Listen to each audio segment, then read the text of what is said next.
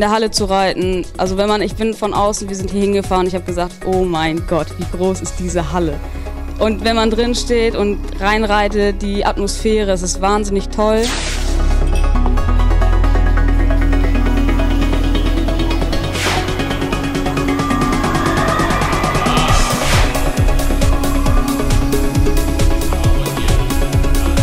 Ja, ich freue mich natürlich riesig über dieses Turnier hier. Ich glaube, für jeden Reiter aus Schleswig-Holstein ist es immer schön, hier in den Holzenhallen zu reiten.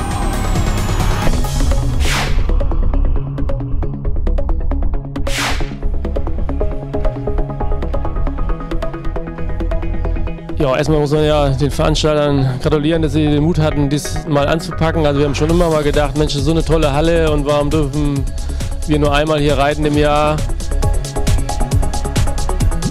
Die Stimmung ist so unheimlich gut, alles ist so entspannt hier und äh, es wird so viel für uns Reiter und insbesondere für die Pferde getan, äh, dass wir uns, glaube ich, alle sehr, sehr wohl fühlen.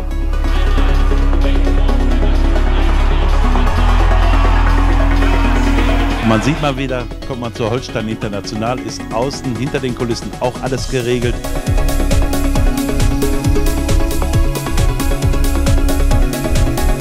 Ich glaube, dass es ein guter Weg ist. Das hat sich ja schon bewiesen jetzt nach, dem, nach der ersten Auflage.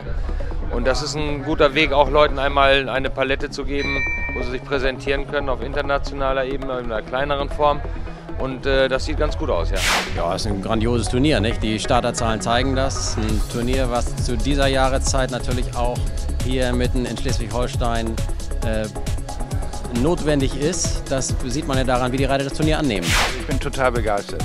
Also wie das hier aufgezogen ist und man kann wirklich sagen, von Pferdeleuten für Pferdeleute und äh, das Ganze drumherum. Wir haben kurze Wege von den Stallungen äh, zum Parcours. Äh, das ist einfach traumhaft.